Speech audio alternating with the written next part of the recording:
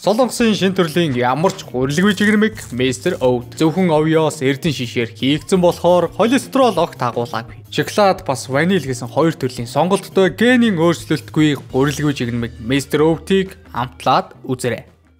За яг сайн байцгаана уу? Өнөөдөр та бүхэнд зориулж миний ярих кино бол дэртээ 2008 онд гарч байсан Wall-E хэмээх American Animated Romantic Science Fiction фильм байна. IMDb-дээр хүнлэгээ 8.4, олсон ашиг орлого нь 180 саяар бүтээд 532 сая ам долларын орлого олсон. Ер нь бол их хөөрхөн кино хизээж хаанч гарч байсан, өмнө нь үзэж байсан ч гэсэн дахиад үзэж цагаан гарцдахдаа би лав харамсдаггүй. За ингээ бүгдээрээ тайлбараа эхлүүлцгээе. After all these years, he's developed one little glitch.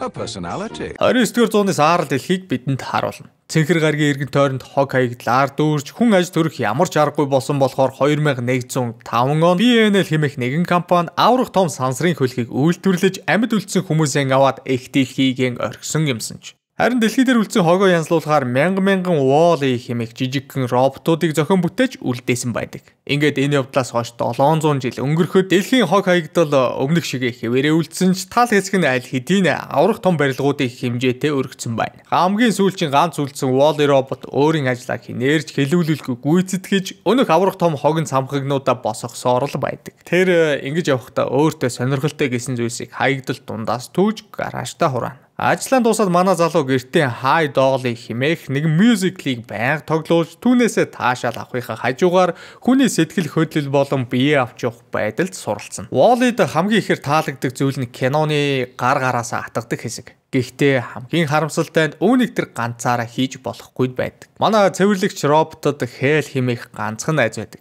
байдгал нэгэн ажлын гонигтай өдөр эхлэхэд манай робот үдийн цайныхаа цагаар хог ухаж яваад хөрөгчийн дотроос нэгэн жижигхэн ногоон ургамал олно. Тэгээ түүнийг хуучин батингийн дотор суулгаад гараж руугаан алхаж байтал гинт түүний хажууд тэнгэрээс нэгэн улаан цэг тусаад ирхэн тэр. Манай залуу шууд л сониур зандаа хөтлөгдөж нөгөө цэгний араас хөөцөлдөж байгаад нэгэн сансрын хөлөг дэлхий дээр газардаж байгааг олж харддаг. Тэрэн дотроос нь өөр нэг робот гарч ирэх бөгөөд тэр Wall-E-тэй огтхож адилгүй харагдана. Энэ цэнхэр нүдтэй жижигхэн төхөөрөмжийг Эва гэдэг. Тэр бол амьд ургамал болохоор хүмүүсээр илгээгдсэн шинжээч робот. Wall-E түүний хийж байгаа үйл явдлыг холоос нууцаар харж явсаар Эвад баг багаар татагдж түүнд шууд л дурлцдаг. Цэнхэрнүүдэд өөртөө с ิจ гтэй аюултай санагцсан бүх зүйлсийг устгаж байгаад манай роботыг эгээтэл үнс нуран болгочихдоггүй. Хэсэг хугацааны дараа Хэл болж байгаа үйл явдлыг холоос харж байгаад Эватай очиж танилцахаар шийднэ. Тэгтэл араасаа нэг юм ирж байгааг мэдэрсэн робот шууд л гал нээчихдэг. Амьд үлдэх чадвараараа шалгарсан амтан бол Жон болохоор мэдээж тэр зүг зүгээр байна. Эва тэрнийг харсан даруйдаал гараа сунгаж тоглож эхлэхэд Воли инээд алдаж байгаад сэжиг ахуулчихдаг. Засан цагаан хэсэг гал нээж байгаад манай роботыг олж харддаг чи ямар ч аюул учруулахгүй байна гэдгийг ойлгоо зүгээр л эргэж хараад яваад. Воли харин түүний араас дагахаар шийддэг шөнө болж дэгжин цагаан робот унтлахын горимдоо шилжихэд цэвэрлэг залуу хажууд нь аль хэдийнэ дөхөөд ирчихсэн түүнд зориулж хөшөө хүртэл босгож эхэлдэг. Гэхдээ маргааш өглөө болоход энэ Наявагийн сэтгэлийг өчүүхэн ч хөдлөгдөггүй. Манай багтарч сэтгэлдээ шарахтай болоод үлддэг. Дэгжин цагаан робот хамаг хүчээд айслан ямар ч хамаагүй аргаар ямар ч хамаагүй амьд ургамал олохоор ихэд хичээдэгч түүний зүтгэл талаар болно. Ингээд ихэд сэтгэлээр унжсан Эва ийл галын дэргэд сууж байтал Воли жаахан ч гэсэн түүнийг тайтгаруулахаар дөхөж ирдэг. Тэр хоёр хэл амаа хурдан олцож бие биетэйгээ танилцаад ярилцаад байжсэн чинь ээсэн шуурга эхлэхэн тэр. Ингэснээр цэвэрлэг залуу хайртай бүсгүйгийн дагуулад өөрийнхөө хувийн эдлэн давчрах нэг том шалтгаан энэ болдог. Тэгээ цуглуулсан сонирхолтой зүйлсээ бүсгүйд харуулж хамтдаа кино үзцгэн. Энэ бүх үйл явдал яваад сонирхолтой байгаа нь ээлт мэдрэгдэнэ бүсгүй жаахан ч гэсэн таалагдж байгаа дээр улам түүний сэтгэлийг өөртөө татахыг хичээсэн Wally нөгөө нэг өдөр болдог ургамлаа гайхуулах гэж хаанаас ч юм бэ гинэд гаргаад ирдэг. Эва ургамлыг харсан даруйдаал сканердэж э, хайсан зүйлэн олсон болохоор ургамлыг биедээ хийгээд бүлээлтийн гойронд шилжчихдэг. Манай робот цэмгэр цагааныгаа сэрэх гэж оролдог боловч ямар ч амжилтанд хүрдэггүй. Тэгээ гадаа гаргаж нарнаас сэнэг оруулж, бороонд норгож, бүр хадгалтын хамгийн сайн орчинд байлгаж үздэгч нойрсож буй гүнж нь ухаан орохгүй байсаар л байдаг. Энэ мөчөөс эхлээд Wally Эвата үргэлж цугтаан байж гадуур хамтдаа зугаалж оройн нь хоёулаа нар жарахыг харж дассан байна. Ингэхдээ Wally үргэлж түүний гарнаас атахыг хичээнэ. Counter-ын ажиллагч 1x bet. Та бүхэн бичлэгний дор байрлах линкээр ороод бүртгүүлэх хэсэгт дараа амар гэсэн миний нэрийг промо код хэсэгт хийж бүртгүүлвэл анхны депозитондоо 100% бонус авах боломжтой. Промо кодгүй бүртгүүлэхэд 410 мянган төгрөгийн бонус авдаг бол миний нэрийг хийснээр хэдэн төгрөгч хийсэн түүнийгээ бонусанд авна гэсэн. За ингээ бүгдээрээ кинод орцгоё. Нэгэн өдөр цэвэрлэгч робот үүргэн гүйцэтгэж гисэн хаягдлаа зэгцлээ зогсож байтал Эвагийн ирсэн хөлөг онгоцоо Кенет бууж ирээд түүнийг авч явж байгаа нь харагдана. Хайртай бүсгүйгээсээ огтоо салахыг хүсэхгүй байгаа Воли хар хурдаараа гүйж очоод хөлгийн гадна талаас зүгчдэг. Задгаа сансарт гараад манай робот орбитоор дүүрэн хогтой амьгүй болсон дэлхийг гаднаас нар. Иймэрхүү байдлаар хэдэн цаг ниснээс хайртай Эватагаан цуг манай Воли аксиом хэмээх аврах том сансрын хөлөг дээр хүрэлцэн ирдэг. Унтлагын оримд байгаа засан цагааныг тентхийн ажилчид хөлгийн ахмад дээр хүргэж өгөхөөр явхад Воли дурлалт бүсгүйгийн алдчихгүй тулд араас нь яран дагаа. Ямар ч толбгүй шалан дээр хар зураас гарган гүйх Волигийн гут Лемурыг Дог хэмээх ууртай нэгэн жижигхэн робот амандан гүгэлсээр арилгаж эхэлдэг. Цэмгэр цагааныхаа эрэлд явж байхдаа Воли 700 жилийн дараа анх удагаан хүмүүстэй таард. Тэгтэл нөгөөдөл нь удаан хугацааны туршид сансарт хязгаарлагдмал орчинд байснаас болоод хөдөлгөөний дутагдалд орж улмаар таргалж хоёр хөл дээрээ шалхаж чадахгүй сул дорой амтд зүгээр л нисдэг креслээр тухлаад юу болцсноо идээд зурагт үзээд явж байдаг. Хөлгийн хамгал харбор ажлыг харин хиймэл оюун ухаанд роботууд гүйцэтгэж байгаа харагдана. Манай цэвэрлэгч робот хүмүүсийн ген нэгэн хэвийн тогтсон амьдралд Орсон анхны өдрөөсөө л эхлээд өөрчлөлтийг дагуулдаг. Эхлээд тэр нэгэн босч чадахгүй байгаа залууд суудл дам боцод залрахад нь дэмжлэг болоод дараа нь виртуал ертөнцид хит авцсан хоёр хүний дэлгэцийг санамсаргүйгээр салгаж төрсэн цагаас хойш утас ширтсэн хүмүүс ухаан орж эргэн тойрныхоо бодит байдлыг олж харахад нь тусалдаг.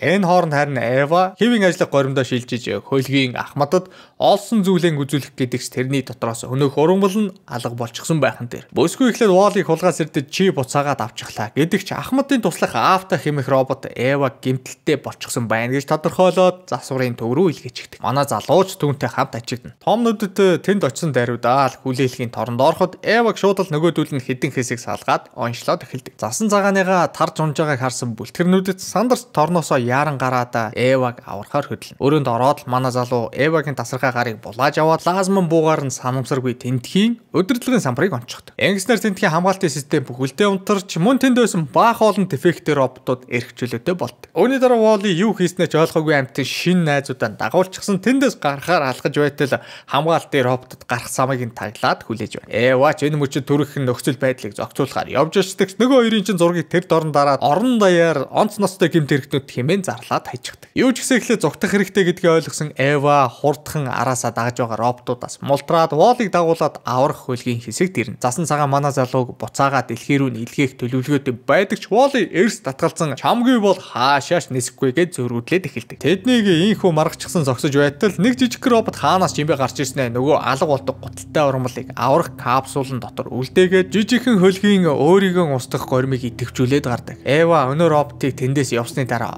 ургамлаа авандаа гэж бодчихсон зогсчихсэн чинь Wall айл хэдийн дотор нь орчихсон аваад гарах гэж байна. Харамсалтай нь энэ үед муу жижигхэн бөөс чинь хөлгийн асаах товчийг дарчихдаг. Энэ бүхнийг хажуу талаас нь хараа зогсчихсон Эва ихэд сандарч шин айзыгаа ногоон ургамлтай хамт аврахын тулд хурдхан араас нь задгаа сансарлуу гарна. Харин нөгөө талд аврах завын дотор манай робот мэдхгүй ч гэсэн өгөхөөс өмнө гомдлын мөрөө амаг кнопыг нь дарж үзэж Эданг бүртэн нэг бүрчлэн хурж байгаа дэлхий дээр зодтолтож танилцжсэн гал унтраагчаа олж хардаг. Тэгээд нэгэн сонирхолтой зүйлийг төмөр тархиндаа сэтгэн. Энэ үед гадаа Эва бараг л капсулыг гүйцээд ирчихсэн одоохон гिचгсэн нисчидэл аврах хөлөг гинэт дэлбэрч. Засан цагаан энэ бүхэнд ихэд зочирдогч юу ч гэсэн төхөж очихоор цааш хөдлөхөд түүний хажуугаар мана зэвдээ төмөр гал унтраагч юм барьчихсан яг л тэрэлтэй төлгөөртэй онгоц шиг зөрж өнгөрнө. Эва шинхэн найзгаа зөв зүгээр байгааг хараад ихэд баярлдагч нөгөө ногоон урмлаа Волигийн гарт байгааг үзээд түүний сэтгэл бүр их хөдлөж найз залуухан барьж аваад захилгаан үнсэлтээр шагнчихд. Эгэ манай хоёр баяран тэмдэглэж хэс хэсэг аксиомын хажуугаар хөгжилдөж байгаад дотгошоогоон орцгоо. Эва Ахмадын өрөөнд орж ирээд ургамлыг түүнд гардуулахад өнөөх нь их дэлхий дээр яг ямархуу байгааг цасан цагааны сан хойноос харахыг хүсч түүнээс гуйд. Гарч байгаа бичлэгнээс Эва Воли хэрхэн түүнийг унтж байхаагаар нь халамжилж харж хандаж байсан талаар олж мэднэ. Ахмад ч гэсэн дэлхий хэрхэн хогондоо дарагдсан байгааг мэдээд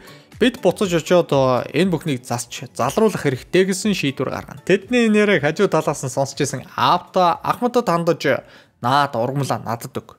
Бид нар буцаж болохгүй гэд 700 жилийн өмнөх хөлөг зохион бүтээсэн компани захирлын яриаг тэдэнд үзүүлнэ. BNL-ийн ерөнхийлөгч бичлэгэндээ дэлхий рүү дахиж зөвлөх хэрэггүй. Бид нар сүрсэн гэж үлдээсэн байдаг. Ахмад энэ бичлэгийг үзсэн ч гэсэн сансарт үлдсэн амьдралаа үрмээргүй байгаа болохоор гэрлүүгэн бид харна гэж роботтой маргалдаж эхлэнэ. Тэгтэл аавтаач өөрийн байр суурин дээр бад зогсож доор байдаг хүнэнч туслахаараа түүний цэцгийг үй гэхийн завдлгүй хогийн сав руу аваад шийдүүлчихдэг. Тэгтэл Азар нөгөө нөхөн дотор нь Воли байж таран савнаас гарч ирээд нөгөө цэцгээ биендээ хийгээд цоожилчихд. Өвнийг харсан аавта маш их уурлаж, манай роботыг өндөр хүчээр зохиулж, микро схемүүдийг нь шатаагаад хогийн цээх рүү унгаа. Дараа нь Эваг ч гэсэн бас идэхгүй болгоод түүний араас илгээчихдэг. Ахмадыг харин яаж чадахгүй болохоор тусдаа зойронд харчихна. Хогийн дунд хэвж байгаа Эваг жижигхэн хулган дээгүүр нь явж байгаад гүйдэл дамжуулснаар сэрээждэг. Энэ үеэр баг кино эхлэхэд л цэвэрлэж эхэлсэн ууртаа робот Волигийн мөрийг дагаж явсараа байгаад хогийн цэг рүү бас ороод ирнэ. Засан цагаан бүсгүй сансар руу хаягдахын гэл өмнө ухаангорсон болохоор хогийн дундаас өөрсдийгөө чөлөөлж Волигон чирээд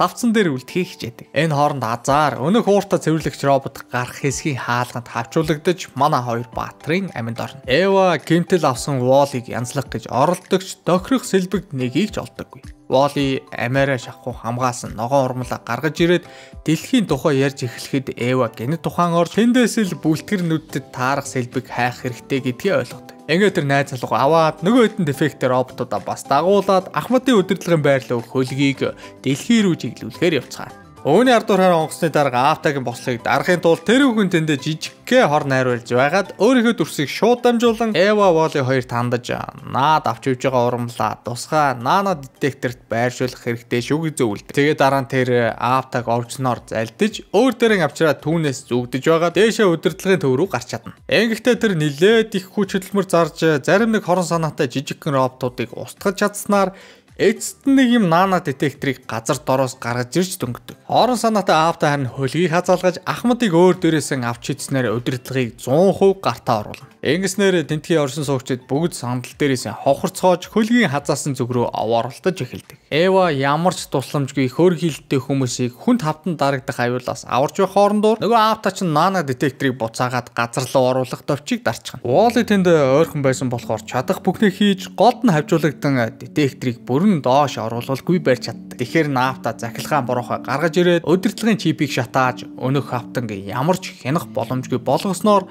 Нана детектор доош хүчтэй хаагдан хөөхий волыг сэг болтол нь хавж иж орхино. Аавта энэ бүхнийг холоос харан баг болчихлоо гэж зогсож байтал хөлгийн ахмад бусад хүмүүсийг гайхшруулан өөрийгөө хүчлэн арай гэж хоёр хөл дээр босч ирээд онгоцныхоо гар удирдлагыг амжилттай идэвхжүүлдэг. Ингэснээр аавта ч унтарч хазаасан хөлөг хэвийн байрлал байна. Эва харин хурдхан нөгөө нь хон ургамлаа детектор дотор хийснээр аксиом хөлөг автоматар дэлхийг чиглэж гэрлийн хурдаар тэнд хурж очдог. Хүнд гэмтлээсээ болоод Воли айл хэдийнэ ухаангүй болсон байна. Дэлхий дээр ирсэн даруйдаа Лева маш хурдтайгаар тэрний гараж дээр очиж тохирох сэлбүүдийг нь олоод Волыг амжилттай засч чаддаг ч гэсэн хитрхи их хэсэг нь гэмтснээс болоод Воли хэн байсан, юу хийж байснаа жог санахгүй, Эвагч тоохгүй яг л урдийнх шигэ зүгээр л нэг хог цэвэрлдэг робот болсон байна. Хүн төрлөختнийг мөхлийн ирмгээс аварсан хуучны бяцхан робот ямар ч сэтгэл хөдлөлгүй програмчлагдсан төмрийн хэсэг болж хувирсан гэж бодохоор их л шудраг бус санагдана. Эва итгэл найдвараа алдан нөхцөл байдалтайгаа эвлэрч Волитой салах ёс хийж тэрний гараас яг л түүний хүсдэг байсан шиг атгаад эцсийн үнсэлтэй хийдэг. Тэдний дундаас гарсан жижигхэн цахилгаан Волигийн дурсамжийг дахин ачаалж манай хүн эргээд бүх зүйлсээ санаж чадна. Үүний дараа бидэнд дахин ногоон ургамлаар хужигдж сэргэлтийн байдалтай орж байгаа дэлхийг харуулснаар кино маань дуустдаг. Зэг энэ түрээд энэ удаагийн дугаар өндөрлөж байна. Бичлэг таалагдсан бол лайк дар subscribe хийгээрэй. Дараа уулзтлаа. Түр баяртай.